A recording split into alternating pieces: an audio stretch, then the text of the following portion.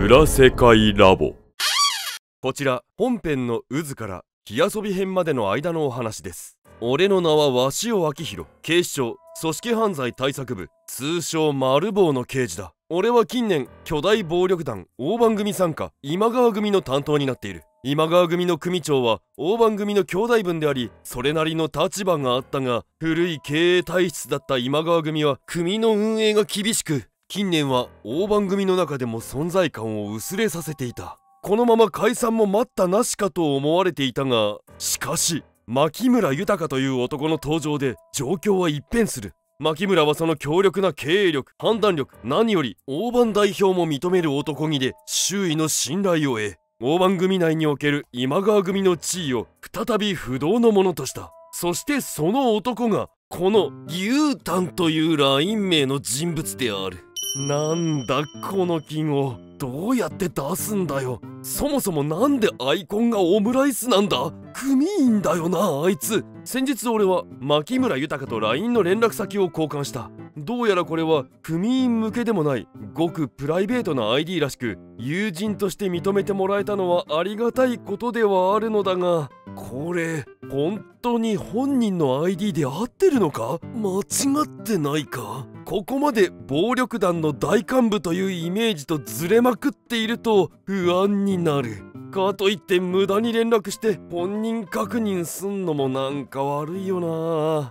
まあ素性がバレないためだろう。うん？深く考えない方がいいな。牧村は先日電話連絡をした後でうちに来たのでその時に本当にこの ID で合ってるのか聞けばよかったのだが部屋住みたちに冷蔵庫の管理の甘さを責められそれどころではなくなってしまった。それ以来一応冷蔵庫の中身には気をつけている。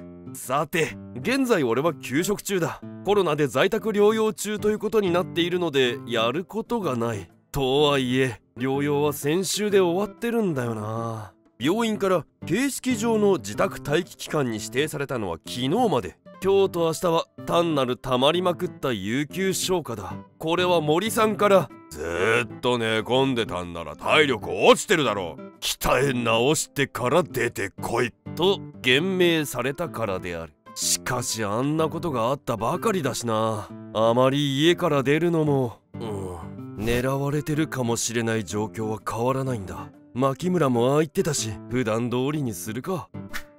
こんにちは。いらっしゃるの久しぶりですね。感染しちゃって自宅待機してたんですよ。そうだったんですか？でもその前からあまりいらしてませんでしたよ。忙しくてなかなか時間が取れないんですよ。あれ？鷲尾くん？さくらさん。お疲れ。もう療養してなくていいの？大丈夫？自宅待機期間は終わってるよ。今日他に誰か来てるのか？生活安全課の人何人かいたな。プールの方だけど。このジム3分の1くらいは警察関係者よね。感謝が近いからな。彼女はさくらさん俺の同期だ。で体調は大丈夫なの？顔色良さそうだけど。もう大丈夫だよ。問題ない。自宅療養中ご飯とかどうしてたの？うちの旦那は感染したら喉やられちゃってずいぶん弱ったよ買い物にも出られないしね。喉はきついな。かわいそうに。俺はなんとかなったよ。差し入れもあったし。差し入れ？もしかして彼女？違う違う。全然そういうんじゃないよ。森さんも何度かいろいろ届けてくれたし。それ以外にも知り合いが気を回してくれたんだ。その知り合いは組員なわけだが。家事ヒロが手料理冷凍してったし。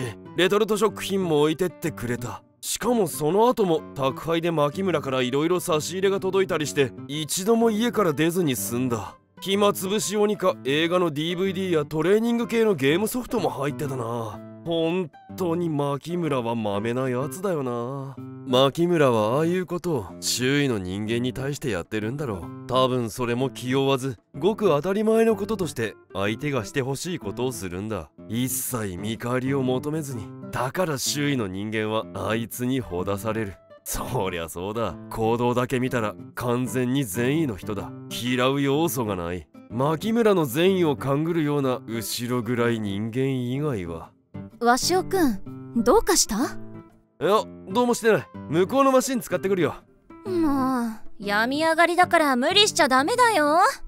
わかってる。ありがとう。おランニングマシン開いて。うーんななんでうるせえ大声出すな他の客に迷惑だろおおまここの客だったのかちげえよ体験入店中だあっちには家事もいる家事？俺ら部屋住みだし丸棒以外にはあんま顔割れてねえから心配すんな。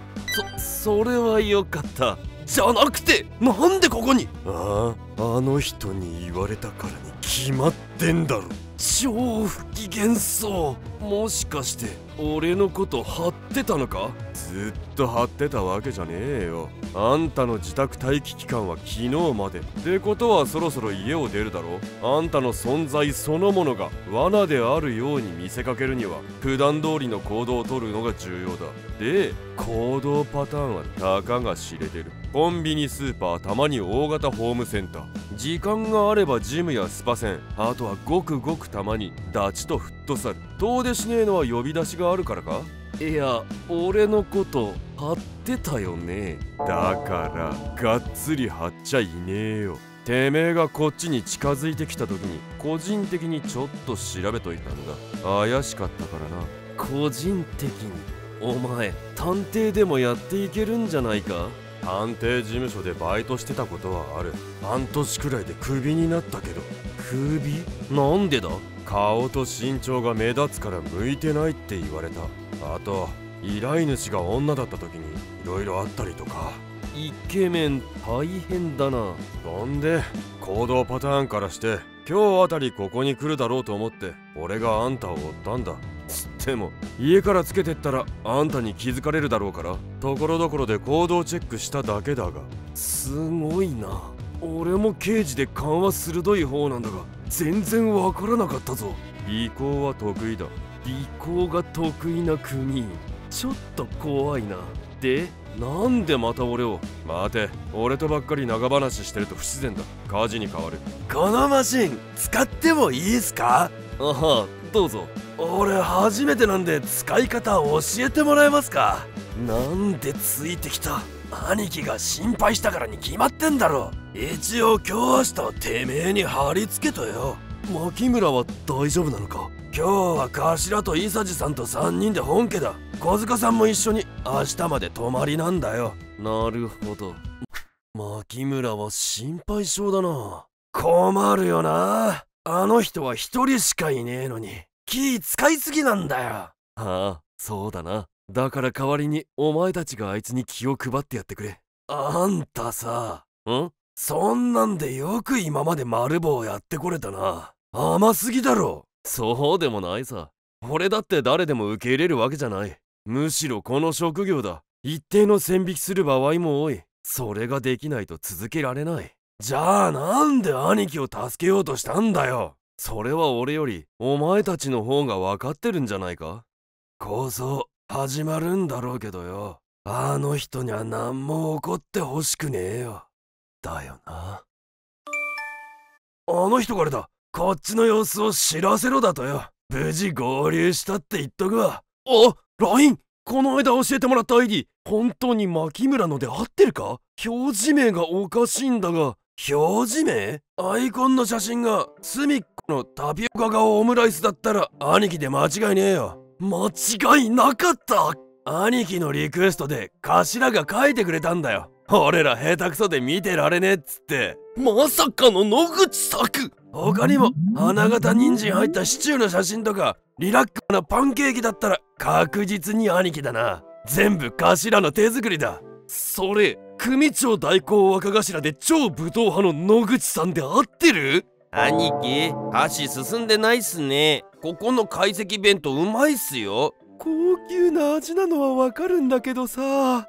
でもこのところ幹部会多くてこんなご飯ばっかりだから野口さんのお子様ランチが食べたい。お子様ランチ？なんでもないっす。今のわしおのアイコンは誕生日にもらったピープくんのぬいぐるみ